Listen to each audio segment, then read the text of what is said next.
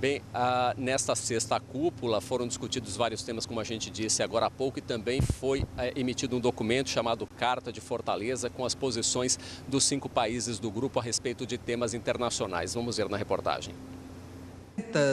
A importância histórica da sexta cúpula dos BRICS é comprovada pelos acordos que foram assinados.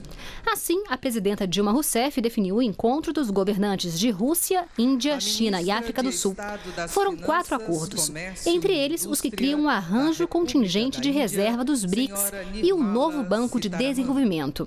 O banco vai ter um capital inicial de 50 bilhões de dólares, que pode chegar a ser o dobro desse valor.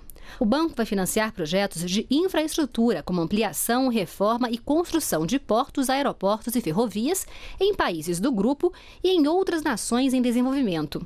O fundo vai socorrer países do BRICS que tenham dificuldades financeiras.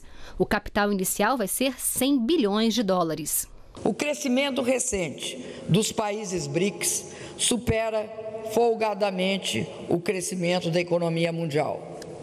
Nossa atuação não é apenas uma manifestação do que somos hoje. Ela representa, sobretudo, o que queremos ser no futuro próximo e no longo prazo. Nosso ativismo não deve ser confundido, no entanto, com o exercício de poder hegemônico ou o desejo de dominação. Tampouco deve ser visto como uma opção estratégica contrária ao interesse de outros países. A força do nosso projeto é o seu potencial positivo de transformação do sistema internacional, que queremos sempre mais justo e igualitário. O presidente da África do Sul disse que a cúpula foi um momento extraordinário e histórico, em que se viu pela primeira vez, desde o fim da Segunda Guerra, a criação de uma nova iniciativa financeira. Os acordos que foram assinados hoje marcam os nossos laços fortalecidos de cooperação nos domínios econômico e financeiro, que produzirão resultados tangíveis e impactos importantes nas vidas dos nossos povos. O primeiro-ministro da Índia disse que os BRICS têm a oportunidade de conceber o futuro dos países do grupo e do mundo. Esse banco dará apoio a outras nações em vias de desenvolvimento. Ele estará enraizado nas esperanças também dos diferentes países em vias de desenvolvimento.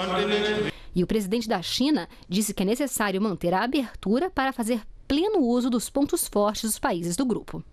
Na verdade, isso invoca o espírito da cooperação e de parceria, algo que é único nos nossos países. Nós precisamos manter o espírito da abertura para fazer pleno uso das nossas respectivas, uh, dos nossos respectivos pontos fortes comparativos, inclusive a, a cooperação econômica no sentido de promover um mercado global mais amplo e promover e melhorar a cadeia de valor e trabalhar voltados para uma melhor economia em nível mundial.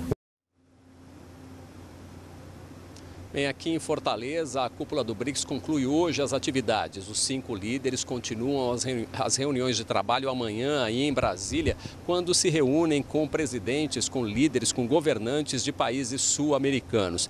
A próxima cúpula do BRICS, já marcada, vai ser em julho de 2015 na Rússia. Renata.